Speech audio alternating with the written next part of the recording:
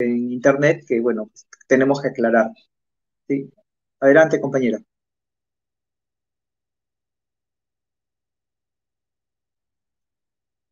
Sí, el adelante. hermanos, claro que sí, tenemos que aclarar este, respecto a lo que ha mencionado, aludido a nuestros hermanos de eh, eh, INTI y de, y de Clamor Popular diciendo que trabajan para la CIA, que trabaja, eh, este, que Perú Libre trabaja para ellos también, que reciben dinero, o sea, ha dicho totalmente, pues, este, incoherencias. Si puedes compartir, hermano, la pantalla respecto al mensaje que había enviado, eh, sería interesante en todo caso para...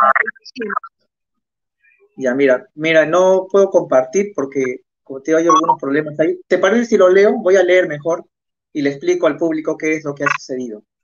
Ya, miren, lo que ha sucedido es lo siguiente. El doctor Wilfredo Robles, ah, el abogado de Pedro Castillo, pues ha dicho en, un grupo de WhatsApp, que es un grupo, este, parece que es el grupo de los eh, de los compañeros que ven el tema del Pedro Castillo, libertad de los detenidos, dice ahí. Entonces dice lo siguiente, les voy a leer, dice aquí Wilfredo Robles Rivera, dice, hay una fábrica de psicosociales compuesta por un aparato, perdón, hay una fábrica de psicosociales compuesta de un, de un aparato de inteligencia cuyos integrantes más visibles son dos de la prensa alternativa, entre paréntesis Barcelona y La Paz. El tercer agente es un veterano abogado cuyo mayor logro intelectual es haber sido entrenado en la escuela de oratoria del Partido Aprista. Hay dinero que a través del Partido Político Perú Libre que mensualmente se les asigna para estas operaciones, la dictadura y la administración norteamericana está en fase. Ya no están privilegiando el empleo de las, de las ejecuciones extrajudiciales, sino el empleo de agentes que generan conflictos, divisiones, desconfianza en las filas de la insurgencia. Por ejemplo, CENUL, dice ahí. Es parte del trabajo inteligencia pero la más cercana a las filas piden libertad y restitución. Bueno, ahí continúa la fila, pero no, no tengo el mensaje completo. Entonces, este es el mensaje que ha lanzado Wilfredo, eh, el doctor Wilfredo Robles, y claro, está escrito de cierta manera para que no lo querellen, ¿no? Claro, es un abogado, obviamente, tiene que escribirlo de tal, de tal manera que no lo querellen. Primero él dice, en la primera, el primer párrafo dice, hay una fábrica de psicosociales compuesta de un aparato de inteligencia cuyos integrantes más visibles son dos de la prensa alternativa, Barcelona y La Paz. ¿Qué, qué comunicador alternativo está en Barcelona? Pues el compañero Wilber Domínguez, de Inti Noticias. ¿Y qué, y, quién, ¿Y qué otro comunicador está en La Paz? ¿no? La compañera Yasmín Díaz, de Clamor Popular. Mejor dicho, hace alusión indirecta a ellos, no coloca sus nombres, pero lo, lo dice. ¿no? Y todos, claro, todos los que están en ese grupo entienden de qué, de qué se trata. O sea, es lo dice de manera que no puedan, este, digamos, querellarlo, ¿no? Por, por difamación. Y pone, dice, como tercer agente es un veterano abogado cuyo mayor logro intelectual es haber sido entrenado en la escuela de oratoria del partido aprista. Entonces, ¿a quién se refiere? Se refiere al doctor Olivera Díaz. ¿Ya? Entonces, ahí, de esa manera, de esa manera, no de una manera, este, digamos, directa, pero hace alusión. ¿ya? Entonces, este, ese es, el, ese es el, la manera en la que trabaja este doctor, o este, que forma parte de la pseudo defensa del, de nuestro presidente Pedro Castillo. Vamos, más adelante vamos a referirnos bien a este tema de la pseudo defensa, que aparenta ser una defensa real, pero en realidad en el fondo no lo es.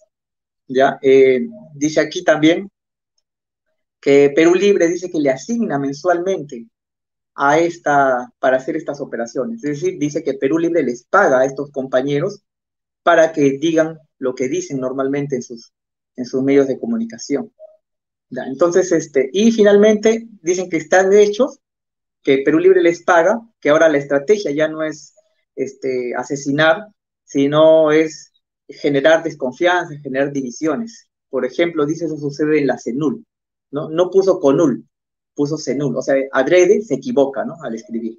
O está, es una persona malintencionada, pues, pues mañosa, ¿no? Con mañas este, este doctor. Y claro, eh, eh, este doctor ya desde hace tiempo ha venido este, en, este, en, el, en, el, grupo, de, en el staff de defensa del, del presidente Pedro Castillo, ha habido casi siempre, ha ido siempre generando una serie de conflictos. Ha ido, digamos, eh, a través de estas, de estas calumnias, ha ido expulsando, ha ido, ha ido cansando a los abogados para que al final se vayan quedando solamente los abogados que son cercanos a Aníbal Torres. ¿Ya? Recordemos que el doctor, este, eh, el doctor Wilfredo Robles fue alumno de, Aníbal Torres y además fue la defensa, fue, fue el doctor que defendió a Aníbal Torres luego del 7 de diciembre. ¿no? Lo hemos visto el 14 de diciembre de 2022 como defensor de Aníbal Torres en una transmisión que hizo en el, en el canal judicial. O sea, hay una vinculación directa. ¿Qué abogado, qué abogado va a contratar a Aníbal Torres? Pues tiene que contratar un abogado de confianza. ¿Qué abogado es de máxima confianza de Aníbal Torres? Pues el doctor Wilfredo Robles. Hay una cercanía directa ahí. Entonces eso no se puede negar, toda vez que incluso el staff de abogados del presidente Castillo no toca a Aníbal Torres ni con el pétalo de una rosa. Y no solamente eso, además, además de eso, eh, Wilfredo Robles ataca cizañosamente y directamente a aquel que se atreva tan solo a cuestionar a Aníbal Torres. Tenemos el ejemplo, por ejemplo, de la doctora, de la abogada Indira Rodríguez. Ella era una abogada que también estaba defendiendo al, al, a nuestro presidente Pedro Castillo. Y bueno, cuando ella dijo que el presidente pues estaba en, este, digamos, su salud mental estaba deprimido, estaba decaído porque pues habían aquellos que antes lo visitaban, que era este, Guido Bellido y Aníbal Torres, lo habían abandonado. El presidente se sentía abandonado de, de Aníbal Torres. Tan solo dijo eso e inmediatamente este, este doctor entró a, digamos, a calumniar, a difamar en medio de, en medio de las bases que defienden al presidente Castillo. Y bueno, la, la, tildaron a esta abogada, a Indira Rodríguez, la tildaron de traidora. Toda vez que incluso ni siquiera se podía acercar a, digamos, a las bases, ¿no? Inmediatamente era atacada.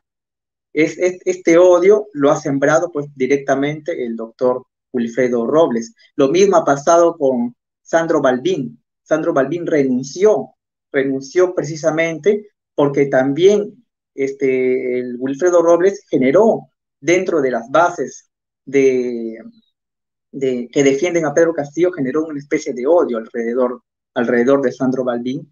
Incluso la familia, tengo entendido que la familia del presidente Castillo, este, eh, en algún momento prefirieron sacar a Wilfredo Robles de la defensa porque había una denuncia este, mediática en contra de él que lo vinculaban pues con de haber pertenecido a Centro Luminoso, pues había pasado algún tiempo en la cárcel, unos 11 años en la cárcel por estar vinculado a esta agrupación terrorista.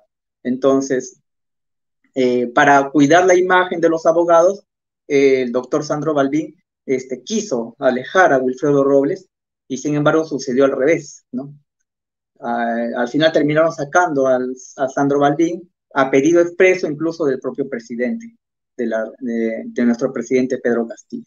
Lo mismo ha pasado con, Ronald, con Raúl Nobelecilla y Ronald Latencia, o sea, el Wilfredo Robles es un elemento que se encarga precisamente de anular a todo aquel que se atreva a, cuestionar a Aníbal Torres y además se ha encargado de únicamente nuclear a los abogados que son cercanos a él en la defensa de, de, nuestro presidente Pedro Castillo. Ahora ahí también quisiera hacer una, un comentario. Miren, estimados hermanos, compañeros que nos ven, el golpe de Estado contra nuestro presidente Pedro Castillo no acabó, no acabó con la prisión del presidente Castillo. El golpe de Estado contra el presidente Castillo continúa hasta el día de hoy. Está en ejecución, ¿Ustedes creen que únicamente eh, eh, se, van a se van a encargar de, ponerle jueces que prevariquen, que tomen decisiones arbitrarias en contra del presidente? ¿Tú que ustedes creen que solamente a ese límite van a estar?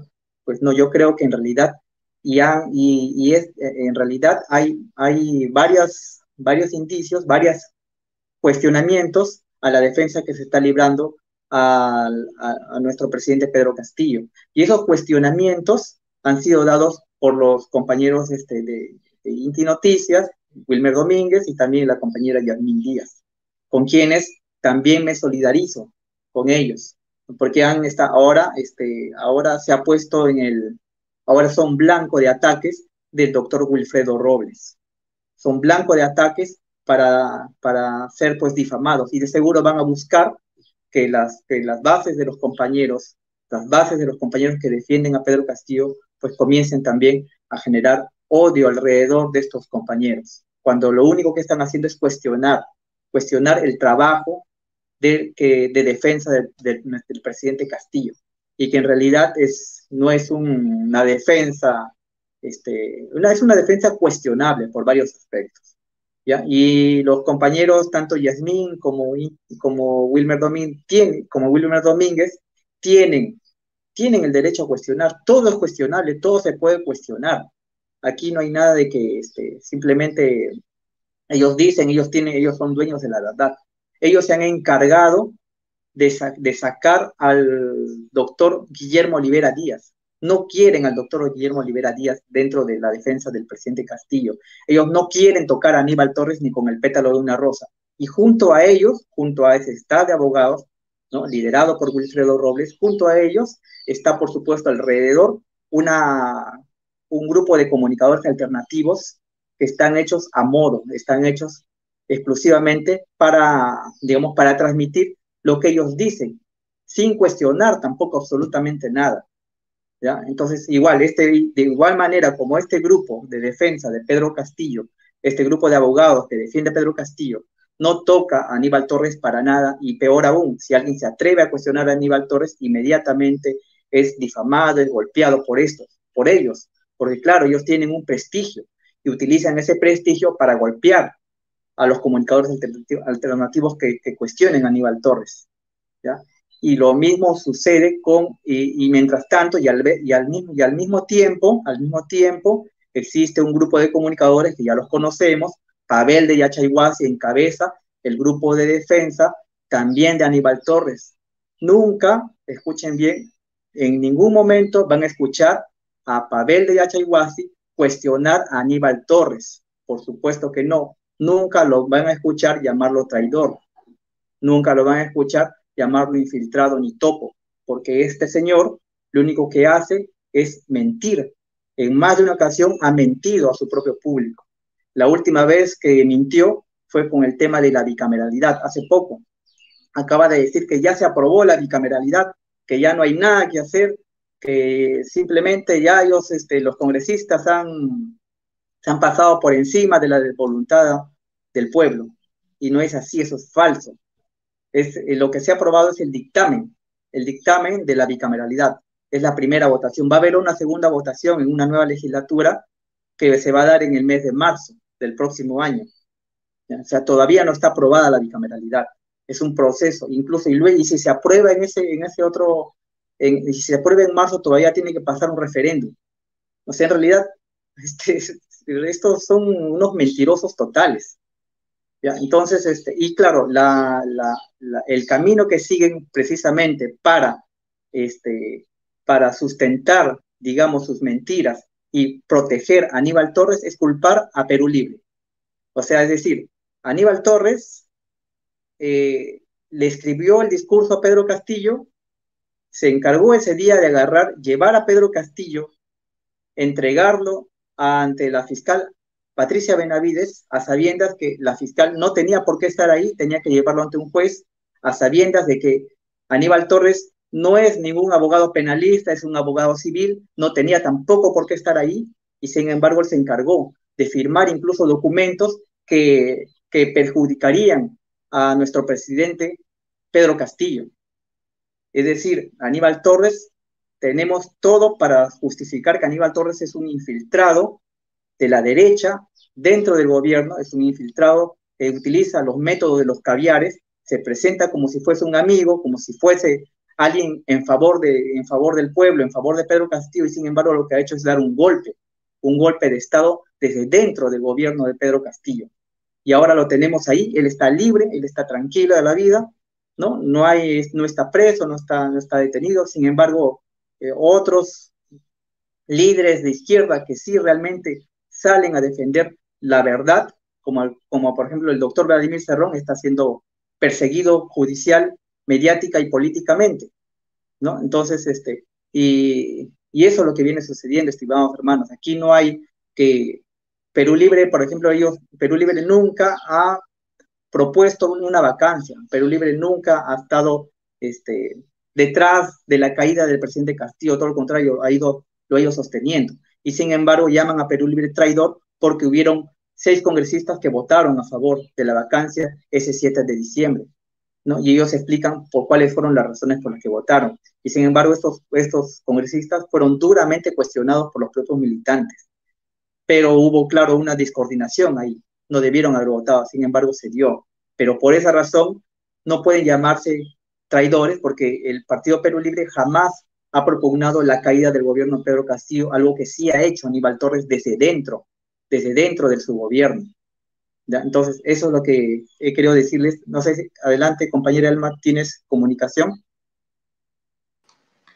Sí, hermano, este, Javier, eh, ahí lo he puesto el, este, el comunicado de la forma ah, realmente inculta, cómo se expresa eh, de forma chabacana eh, Wilfredo Robles, que no merece ninguna, pues, este, eh, ninguna consideración porque él es un misógino, muy bien lo ha dicho la doctora Indira Rodríguez, ahora le doy la razón, ¿no?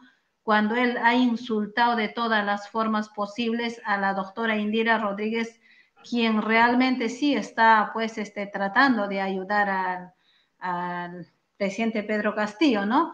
Eh, como ustedes pueden ver, a esta, este es el, eh, él se dedica, este señor Wilfredo Robles se dedica a enviar mensajes, chats, está al pendiente de los grupos de chat. Él es el que, uno de los cabecillas que se ha encargado de bajar eh, prácticamente el canal de Antonio Moleros que tenía, no tenía un millón de vistas, tenía tres millones de vistas su programa, su página de, de internet. Acá hay que corregir un poco, ¿no? Tres millones de vistas y se lo bajaron solo por sacar dos, tres videos consecutivos respecto a la falacia que hacen, que ejercen de defensa eh, estos pseudo abogados, este, prácticamente que trabajan para la, para la, digamos, la, el poder económico. Eh, y se atreve a decir a los que eh, le enfrentan, diciendo que son de la CIA. Mira, vamos a leer, hermano este, Javier, por favor, si tú lo puedes. Ahí está, para que el hermano Enrique, acá Medrano, ¿cómo está hermano Enrique? Un abrazo desde el exilio a la distancia, para que hermano Enrique eh, em, tenga también conocimiento, así como muchos de nuestros hermanos, qué tipo de ser es este, este personaje que valga verdades cuando usted menciona, por ejemplo, este es pues su, su alumno eh, que defiende a capa y espada a un hombre, eh, Gargamel, yo le digo Gargamel o Topo, quien se ha encargado pues de llevarnos a este, a este caos, consecuencia de ello ahora hay un, económicamente el Perú está mal, eh, hay pues terribles este, consecuencias de este, ¿no? Pero les voy a hacer recordar, hermanos, cuando este, el Gargamel, el Topo Torres, viajó a Huancayo, desde Huancayo, desde el interior del país, lanzaba eh, palabras, pues, como por ejemplo, cuando le estaban llevando a la cárcel, le metieron a la cárcel a, la hija del presidente Pedro Castillo, lejos de, este, de quedarse, digamos, este, de de entender la situación, porque el presidente tenía el poder para no hacer que su hija vaya a la cárcel, yo recuerdo perfectamente que el Topo Torres, que dijo? O sea, él ya tenía esa intención, escuchen hermanos lo que tenía, él tenía esa intención ya de, traición, ¿no? Porque eh, yo recuerdo que dijo así, eh, eh, ya ves, miren lo que está haciendo la derecha, que corrupta, que con eso, que esto, que aquello. Ahora tenemos a este, a, mm, ¿cómo se llama su hija del Pedro, del presidente? Este, ¿cómo se llama su hija? Jennifer. Ah, tenemos a Jennifer, que es una heroína que está en la cárcel y próximamente será una congresista. ¿Por qué dijo eso, hermanos, en su momento, aquella vez? en su mente enferma como el que come a los pitufos, ese gárgame que corretea a los pitufos para comerse, ¿acaso no estaba maquinando eso para nosotros? Ese es lo que me pregunto, ¿no? Adelante, hermano, este, con la lectura, por favor. Sí, sí, yo este, hace un tiempo sacamos un video, este, no sé si es transmitible, ¿se puede ver el video, Elma, o solamente lo comentamos? A ver, porque en ese video se expone o sea, se demuestra que fue, que fue Aníbal Torres quien escribió el discurso de Pedro Castillo. Aníbal Torres ese día estuvo presente, ese día 7 de diciembre estuvo presente junto a Pedro Castillo.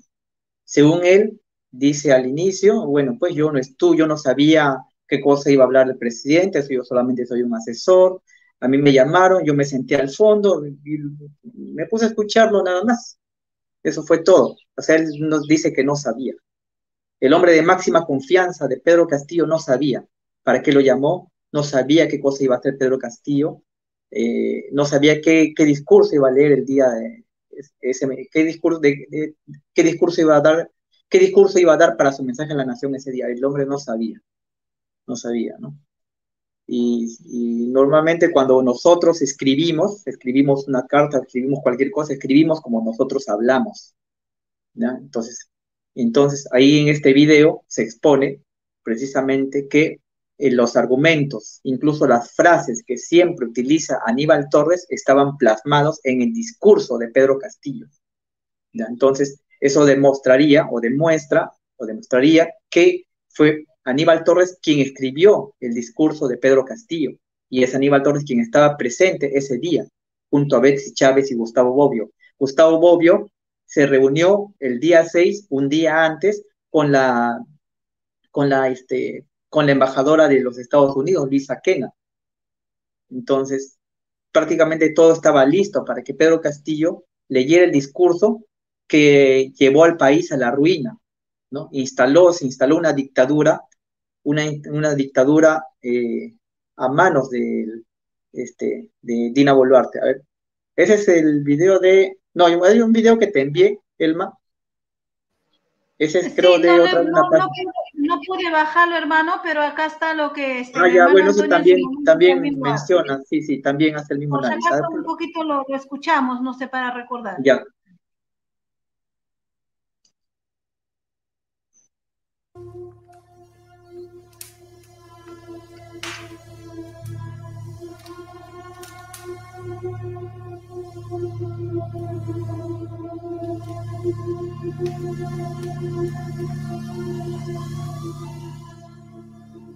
El video presentado por Panorama y Patricia Chirinos, el pasado 5 de marzo del 2023, solo confirma lo revelado por el periodista uruguayo Carlos Facio, el pasado 26 de diciembre del 2022. El día del discurso, Pedro Castillo estaba 100% seguro de que tenía el respaldo de las Fuerzas Armadas, policiales y del pueblo, él se sentía muy seguro, pero lo que Pedro Castillo no sabía era que, todo ese supuesto apoyo, se trataba de una celada. Alerta a los colectivos civiles que están defendiendo la democracia en las calles. Bloqueada ya la avenida Jorge Basadre, no van a dejar que se escape el dictador, como un cobarde, como una rata, después de lo que ha hecho el día de hoy, perpetrado un golpe de Estado inadmisible, rompiendo el orden constitucional sin respaldo. Sin respaldo. Sin respaldo. Sin respaldo. Efectivamente, ese 7 de diciembre, antes de que Pedro Castillo lea ese nefasto discurso, en realidad no tenía respaldo de nadie, ni de sus ministros, ni siquiera de su propia seguridad.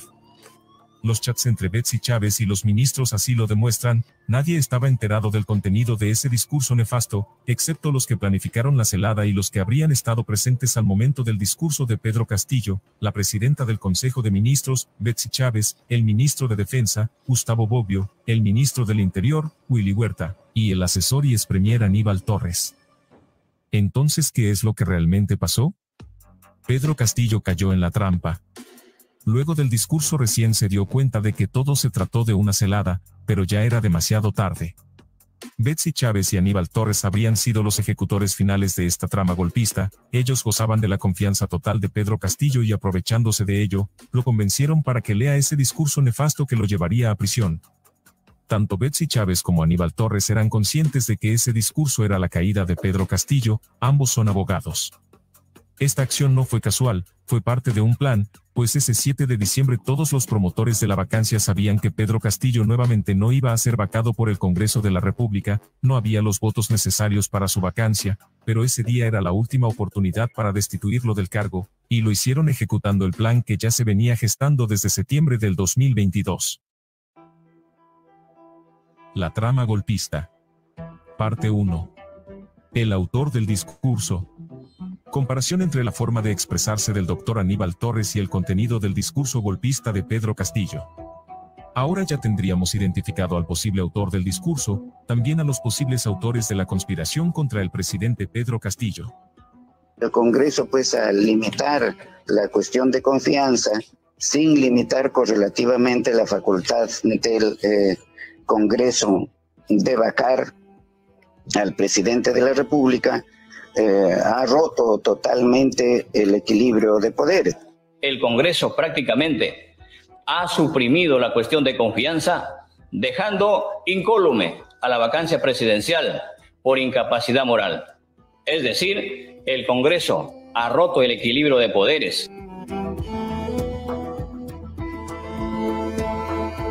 Se prohíban los monopolios, los oligopolios, las posiciones dominantes la prohibición de los monopolios, oligopolios y toda posición dominante.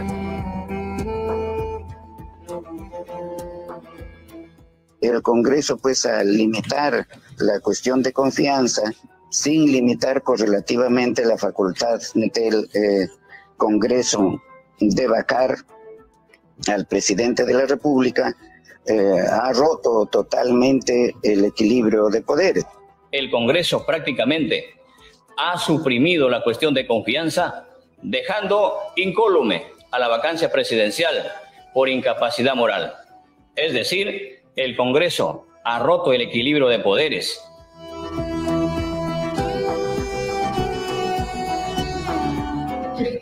Y lo digo con toda franqueza, una prensa mercenaria, una prensa cínica, una prensa corrupta, hechas en la prensa mercenaria, corrupta y cínica.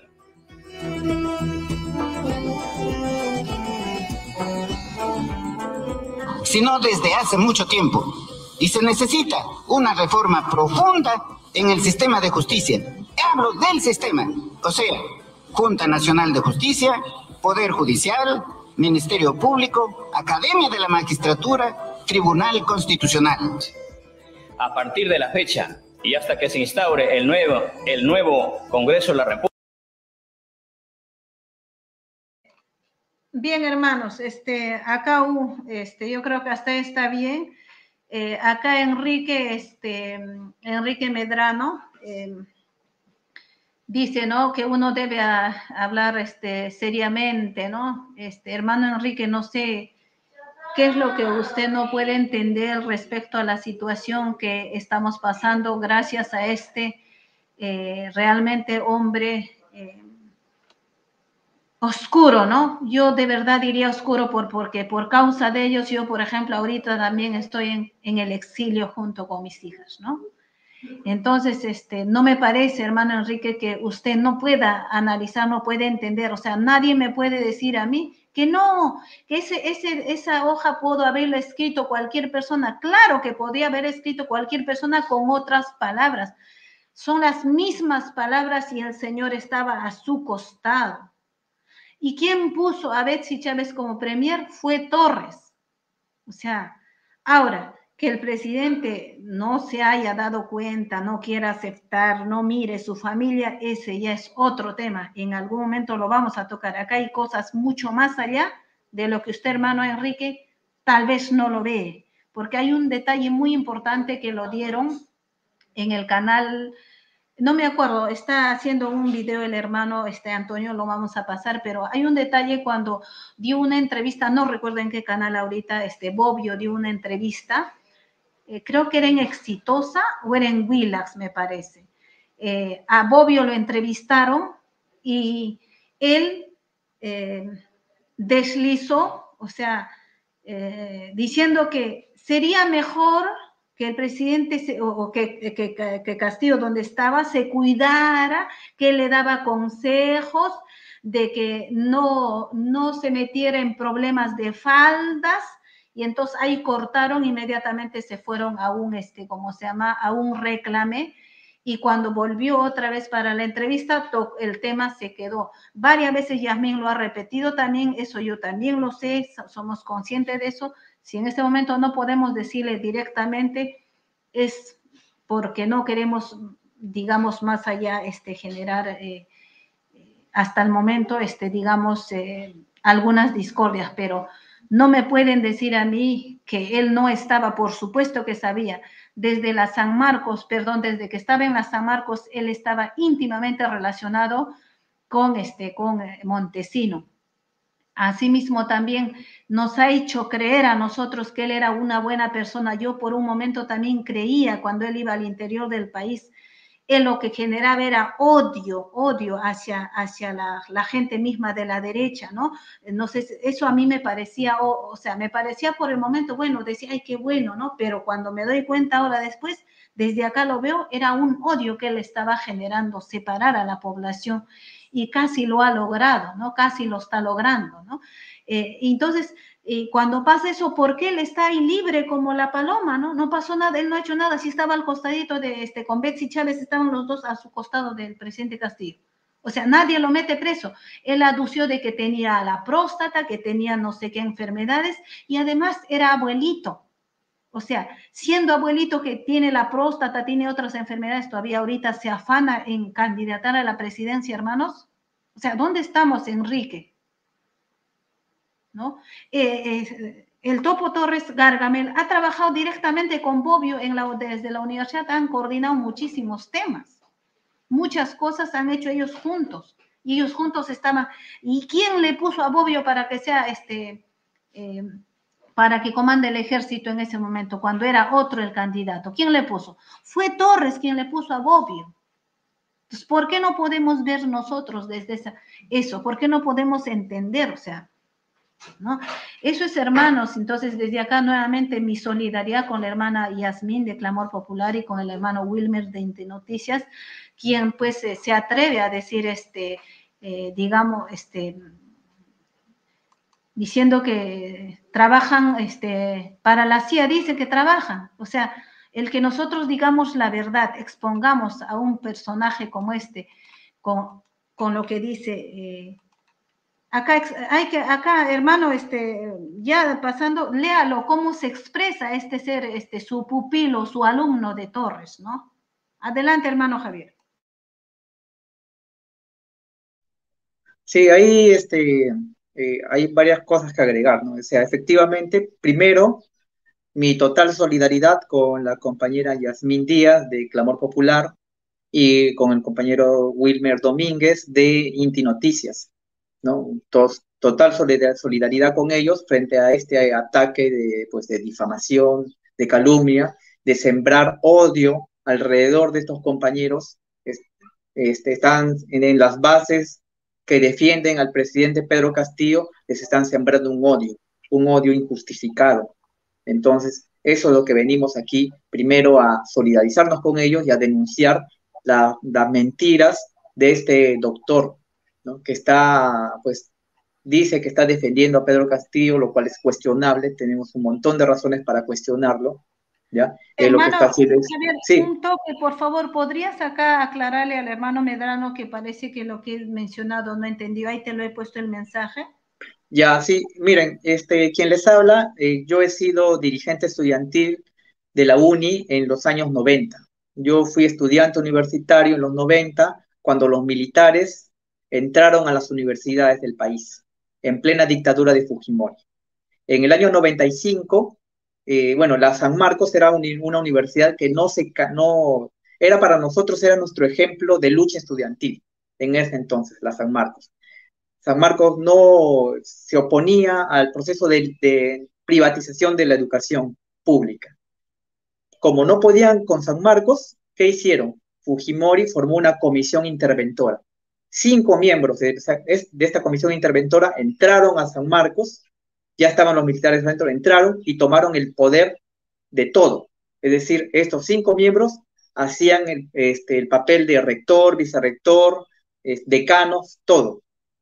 era la máxima autoridad, eran estas cinco, estos cinco miembros. Pisotearon la, pisotearon este, este, pisotearon la ley universitaria y impusieron a estos cinco miembros. Eh, el presidente de, esta comisión era Paredes Manrique y el segundo al mando era Aníbal Torres. Aníbal Torres estaba ahí. Este, eh, pues a quién tenía que colocar Fujimori, pues a los, eh, esta comisión tenía que estar, estar integrada por aquellos de máxima confianza de Fujimori. No, va, no iba a poner a cualquiera, obviamente, pues y ahí estaba Aníbal Torres. Los militares estaban dentro de las universidades. En San Marcos había una base militar. El jefe, comandante y jefe de esa base militar era Gustavo Bobbio. Gustavo Bobbio era el jefe ahí. Entonces, en San Marcos estaba tomada por un lado por los militares, con Gustavo Bobbio a la cabeza, y también eh, como segunda al mando de la comisión interventora que, expulsó a más de 600 estudiantes en la San Marcos. ¿Quién estaba ahí? Estaba Aníbal Torres. Aníbal Torres era el que firmaba las expulsiones.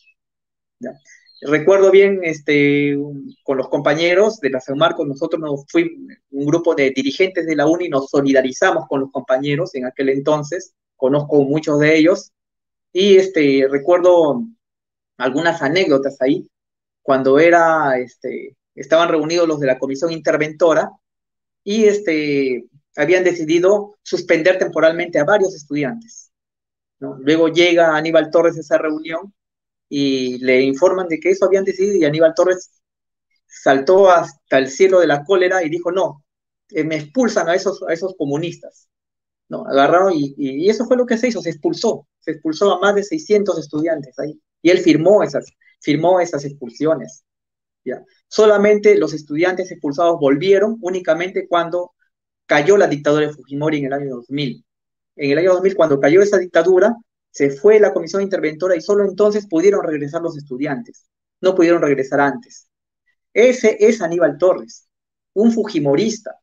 Y ese fujimorista ha estado dentro del gobierno de Pedro Castillo. Y, es, y, él, se ha encargado precisamente de evitar que, se, Pedro Castillo cumpla sus promesas de campaña que en favor del pueblo. él, él se ha encargado de evitar de que haya asamblea constituyente. Él se ha encargado de evitar de que se cierre el Congreso en forma legal a través de las dos propuestas de, dos mociones de, ¿cómo se llama esto? De, de, de la forma legal como lo hizo Vizcarra. No recuerdo, hay dos, se hacen dos propuestas de, de confianza. Y de esa manera se cierra de manera legal. Cuestión de confianza. Cuestiones de confianza, efectivamente. Cuestión de confianza. Y este, eh, él, y sus ministros se opusieron, por ejemplo, al ingreso libre de las universidades. O sea, todas las propuestas que Perú Libre quería en favor del pueblo, eh, se encargó Aníbal Torres no solamente de que no se ejecutara, se encargó de, de, separar a Pedro Castillo de Perú Libre. Por eso es que Pedro Castillo comenzó su gobierno diciendo que Vladimir Cerrón no iba a estar ni de portero en Palacio. Por eso es que, digamos, a duras penas le daban uno o dos ministerios. Y este, un ministerio, a lo más un ministerio, a veces ninguno.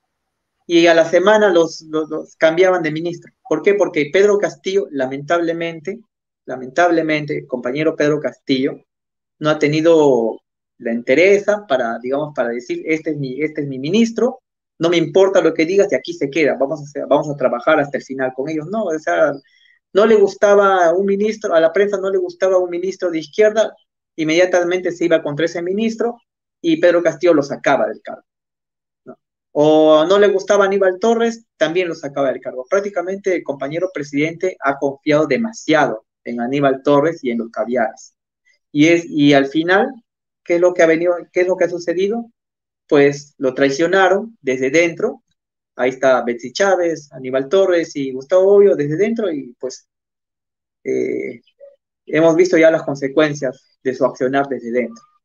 Entonces, ese sí, y ahora pues que está, está injustamente detenido, si antes, cuando era presidente de la República, el compañero presidente Pedro Castillo, se dejaba influenciar por Aníbal Torres y los caviares, ahora imaginen que está dentro de prisión, pues de seguro es más fácil influenciarlos, ¿no? Ahora está un grupo de, un grupo de, este, de, abogados cercanos a Aníbal Torres, muchos de ellos, ¿no? entre ellos principalmente Wilfredo Robles, el más cercano a Aníbal Torres, que pues obviamente incapaces todos ellos de cuestionar a Aníbal Torres, junto a su prensa alternativa, entre comillas, que no es nada alternativo, Pavel de Yachayhuasi y muchos otros que tampoco van a tocar jamás ni con el pétalo de una rosa Aníbal Torres. Y claro, lo que sí van a hacer es atacar a Perú Libre y atacar a aquellos comunicadores alternativos que le salen al frente a Aníbal Torres a denunciar como estamos denunciando en este momento. Adelante, compañera, gracias. Así es, hermano este, Javier, eh, estoy de acuerdo con lo que mencionas. Prácticamente no hay, no hay un, ¿cómo se llama ese dicho? No hay un ciego. ¿Cómo era? No hay un ciego que no quiera ver, algo así había un dicho, ¿te acuerdas, hermano Javier? Ah, no hay peor ciego que aquel que no quiera ver y no hay, no hay peor sordo que aquel que no quiere escuchar, algo así. no, no hay peor ciego que aquel que no quiera ver. Y cuando trata de escuchar.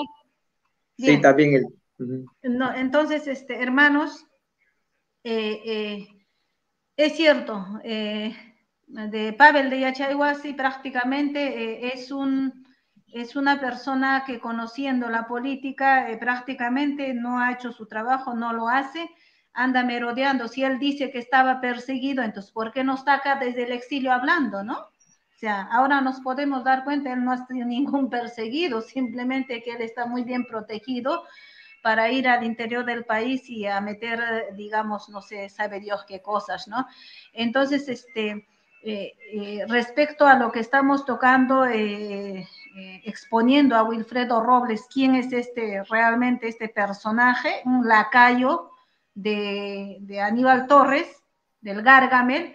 Entonces, acá vamos a leer su expresión, Chabacá, como repito, de cómo él este, se expresa, es lo que envía a, su trabajo de él es enviar correos, no es buscar qué artículo han infringido, cuál es este, eh, cómo debe defender supuestamente al presidente Castillo, sino su trabajo es enviar este, estos mensajes. Eh, voy a leer la primera parte, hermano, usted después sigue. Eh, dice así, mire, hay una fábrica de psicosociales compuesta de un aparato de inteligencia, dice, ¿no? Cuyos integrantes más visibles son dos de la prensa alternativa, dice, ¿no? uno este, lo pone en Barcelona, La Paz, ¿correcto? El tercer agente es un veterano abogado, ¿Qué puede merecer este hermano este Javier? ¿Qué opina de esta expresión de la primera hasta donde dice abogado de Bueno, como ya lo dije, este, él lo que hace primero no menciona nombres, ¿no? O sea, es, este, es un acto, ¿cómo decirlo? Pues para mí, yo pensaría pues que es un acto eh, taimado, cobarde, no podría decir, pero, pero sí es taimado. ¿Por qué? Porque pues él sabe bien que no puede mencionar nombres porque podría causarle una querella. Él es abogado y por eso escribe de esa manera. ¿ya? Entonces, este, por eso es que afecta directamente, siembra odio, porque él es experto en sembrar odio y desde hace ya buen tiempo se ha encargado de sembrar odio a los compañeros que defienden y están ahí en la primera línea de defensa del presidente Castillo. Eh, los ha direccionado bueno, prácticamente pienso que los ha direccionado y está buscando direccionarlos con esto, ¿no? Entonces, este, eh, pues, es una persona, pues, este, este, taimada, ¿no? Rastrera, de, tiene actitudes de, esa naturaleza, pues. Y claro, también choca con, directamente con el doctor Olivera Díaz, ¿no? Es decir, para él hay un, este, hay un aparato, dice, de inteligencia. O sea, este, y ahí está conformada por tres personas, Olivera Díaz, Inti Noticias y Yasmín Díaz de Clamor Popular. O sea, es un disparate total, Es un disparate total, completamente, Es una calumnia, es una calumnia hasta, tonta, ¿no? ¿Quién puede creer una cosa como esa? Cuando el, propio compañero Wilmer Domínguez ha sido muy duro, muy crítico con, Perú Libre, muy, todos, todos los que sintonizan a compañero Inti Noticias tienen bien en claro eh, que Inti Noticias ha sido muy duro y continúa siendo muy duro con Perú Libre. Entonces no puede formar parte, no puede ser un asalariado, de Perú Libre, pues, este, eh, compañero Inti, imposible.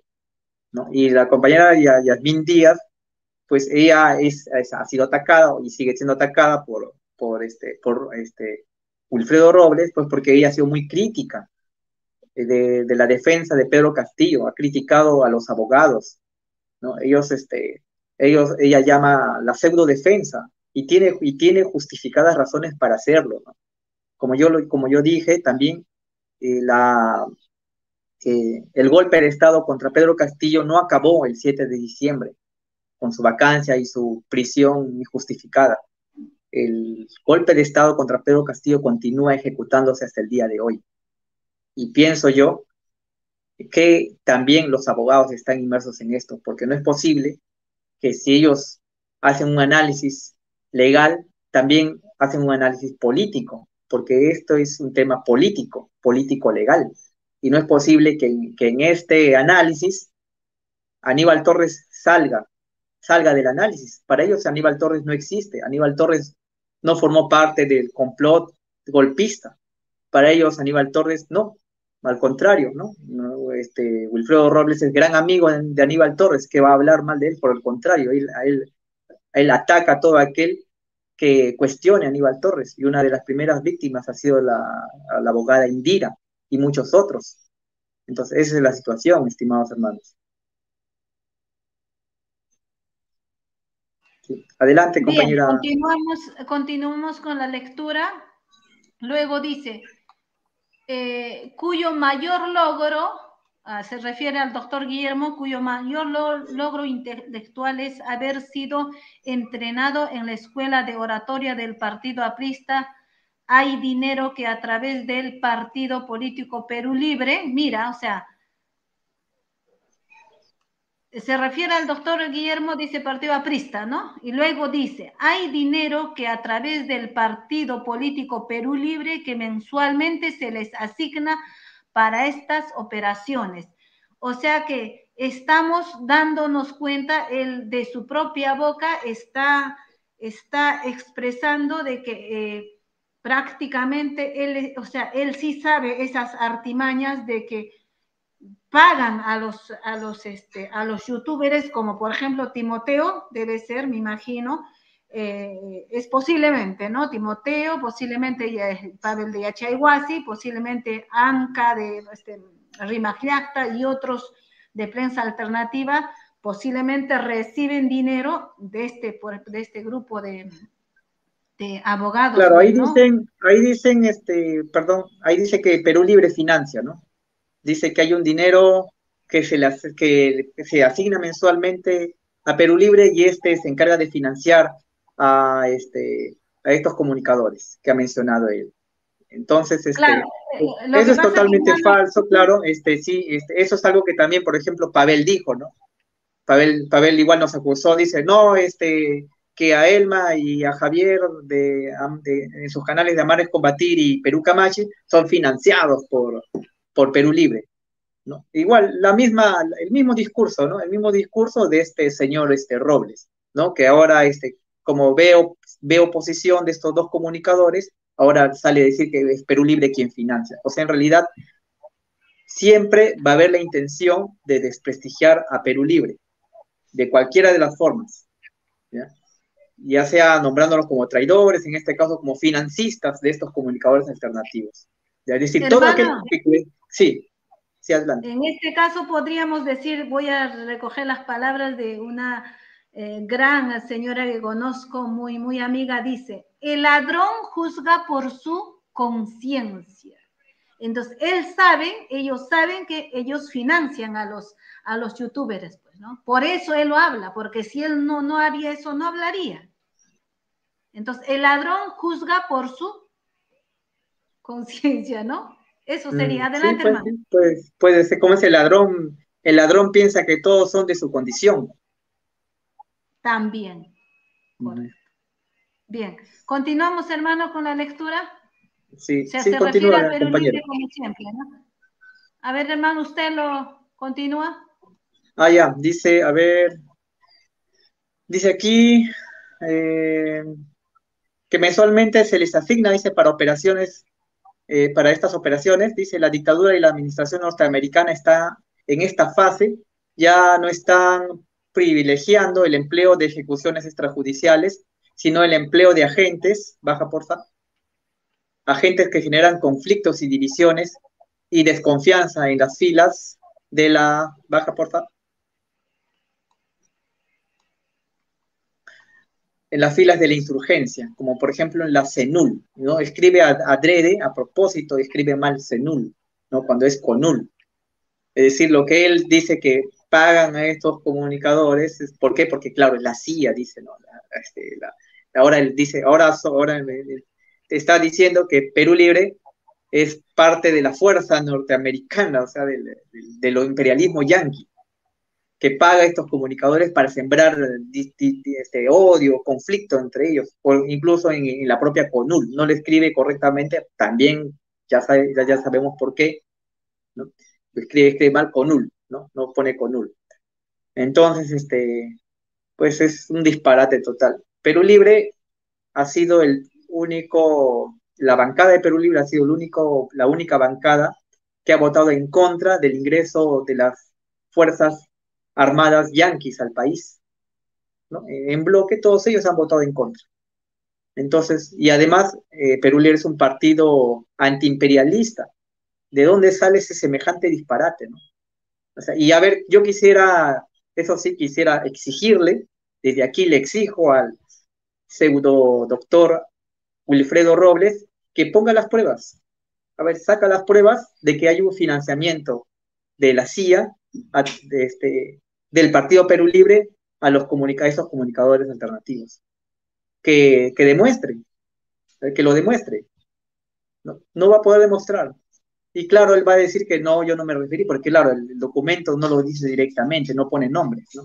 Pero, pero, pero sabemos por qué lo hace y nuestra total solidaridad con los compañeros aludidos y obviamente también con el compañero, con el doctor Guillermo Olivera Díaz, un gran abogado de gran prestigio, un, este, un abogado muy claro políticamente y una eminencia pues en el aspecto este, legal, ¿no? En el área del, en el área legal, sobre todo en el, en el área penal. Eh, bien, hermano, este, estoy de acuerdo con usted. Desde este canal se exige a Wilfredo Robles, que no merece ser tratado ni como abogado. Pensar que yo le he apoyado económicamente eh, y ahora la verdad me arrepiento que esa plata sí me hace falta a mí. Nunca debí darle ni un centavo sabiendo que era, si hubiera sabido cómo era este ser humano, ¿no? Este, desde acá, desde la prensa alternativa de Perú Camachi, exigimos esas pruebas en contra del hermano Wilmer, en contra de la hermana este, Yasmín y en contra de los otros canales que él dice que son financiados por Perú Libre y que, y que está relacionado este, con la eh, inteligencia que dice Estado de, de, Estados Unidos, ¿no? Entonces, ese ya está de variando. Seguro que él trabaja para ellos. Eh, él debe trabajar para esa institución de tal manera que el ladrón juzga por su condición, como dice, ¿no? Entonces, ahora queda expuesto prácticamente quién es el que realmente trabaja para esta institución, ¿no? Eh, y, eh, bueno, hermano, eso sería desde acá. Si hay alguna otra cosa más eh, que podamos. bueno, no, no, este, sí, gracias, gracias compañera Elma. Bueno, no solamente este, hacer un llamado a, aquellos que nos ven, a todos, que, que, tengan muy claro que, que aquel, aquel comunicador que miente, pues ya no puede ser considerado como prensa alternativa. Entonces, este, y aquel que se parcializa hacia un lado, entonces tampoco puede considerarse una prensa alternativa. ¿ya? Nosotros desde acá hemos, hemos denunciado al doctor Aníbal Torres, bueno, al, al topo Aníbal Torres lo hemos denunciado y hemos aclarado con pruebas qué es lo que re- realmente ocurrió ese 7 de diciembre y que pues este y que él ha, ha habido ha quedado en, en impunidad lo que le ha sucedido al presidente y lamentamos que pues realmente no tenga una verdadera defensa y que se haya aislado a la, a la legítima defensa de nuestro presidente, que ya eh, que pues ahí excelente hubiera sido que realmente la defensa la dirigiera el doctor Guillermo Olivera Díaz, pero sin embargo no es esa la realidad, ¿no? Eh, pero sin embargo ya hacemos un llamado a estar atentos, a estar muy atentos, cuestionarlo todo, no únicamente escuchar y callar, sino cuestionar todo. ¿no? Pregúntenle a Pavel de Yachayhuasi por qué nunca toca a Aníbal Torres con el pétalo de una rosa. Pregúntenle a los abogados, cuestionense por qué este, este, y que analicen todo, toda, la documentación que ha sido presentada, qué tan, qué, tan correcta, ¿no? Eso, claro, los abogados quizás lo saben mucho más, los abogados que no están, aquellos, aquellos este, que nos ven y son, estudian Derecho, el Derecho Penal, de seguro que anal analizarán con mayor profundidad esos temas, pero hay que cuestionar todo. Nunca dejen de cuestionar, estimados hermanos. Hay que cuestionar porque eso eleva nuestra capacidad crítica. ¿Ya? Y nos va a llevar también a, a hacer este, al final cambios, cambios, cambios en favor del pueblo, ¿no? Solamente el pueblo, pues, puede hacer las grandes transformaciones, solamente el pueblo va, puede salvar al pueblo. ¿Ya? Un gran abrazo, compañera, muchas gracias, y una vez más, solidaridad con el compañero Wilmer Domínguez, solidaridad con la compañera Yasmín Díaz, solidaridad con el doctor Guillermo Olivera Díaz. Muchas gracias.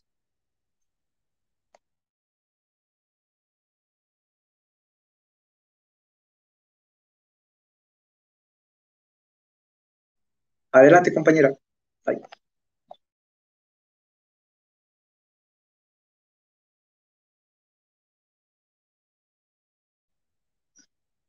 Adelante, Elma.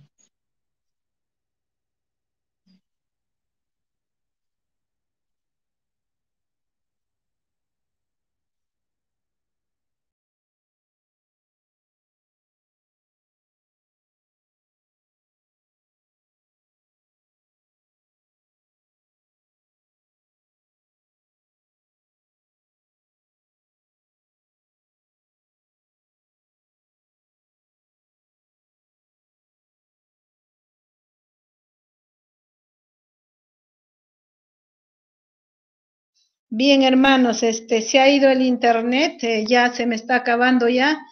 Eh, conmigo sería hasta la próxima oportunidad para continuar haciendo programas. Aún estoy acomodándome recién eh, eh, para poder este, continuar, ¿no? Trabajando. Y